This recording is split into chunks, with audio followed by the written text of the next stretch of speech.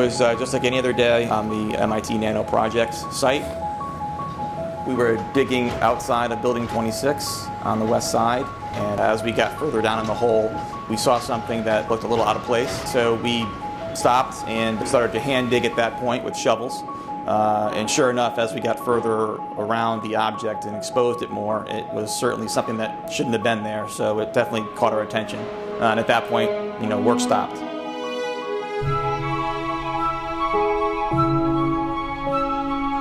Once we determined that it was safe to remove, the MIT Office of Environmental Health and Safety came by to uh, pick it up. And uh, once they had it in, in the situation where they could open it uh, under containment and it was safe, they revealed to us the, the contents, which was really amazing. It was, a, it was a time capsule with all kinds of interesting objects inside completely out of the blue, I get an email which says, Facilities has found a time capsule. Do you have any information associated with this? And I recognized it immediately as the 1957 time capsule that was buried as part of the dedication ceremonies for Building 26 and was the first of two very well known time capsules here on campus because they were both designed and created and facilitated by one of our most famous professors, Harold Edgerton.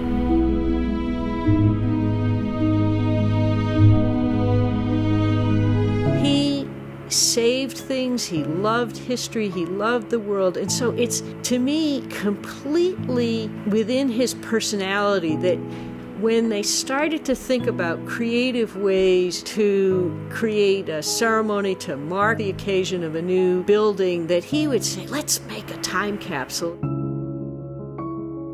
Glass is, is a perfect material to use for this because it is so inert over the long term.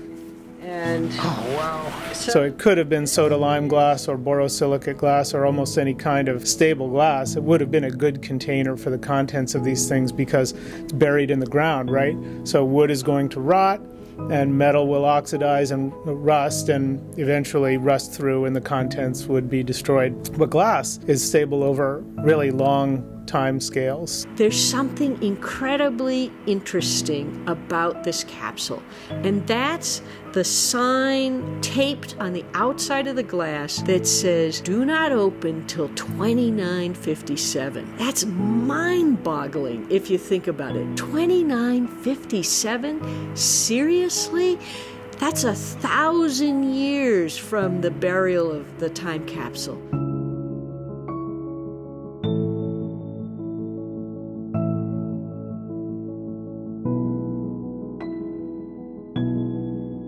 Yeah, this would last at least a thousand years, maybe two or three thousand years. But I think the way they did this, I think there were two two sealing phases here. Mm-hmm. Um, there's first they had an open-ended cylinder, and they had these two caps that got joined right here where the cylinder comes to an end.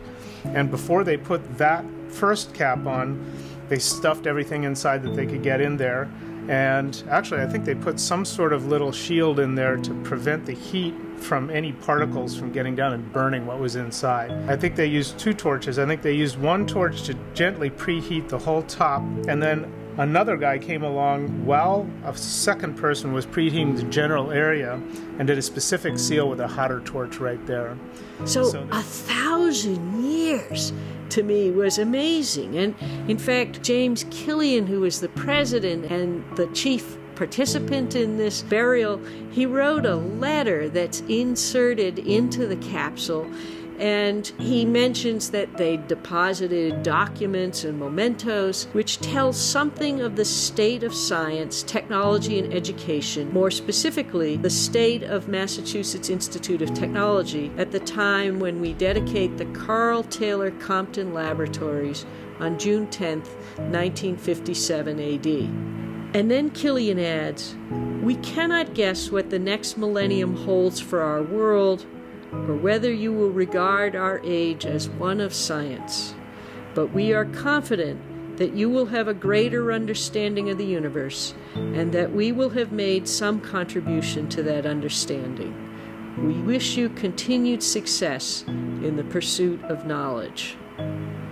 It's a beautiful letter, really, that captures something of MIT and of their sense of our times and our place in the world. And you sense in this letter Killian's fundamental optimism that the human species will survive, that it will continue to be creative, and that the work of MIT will be somehow recognized as important to the world history.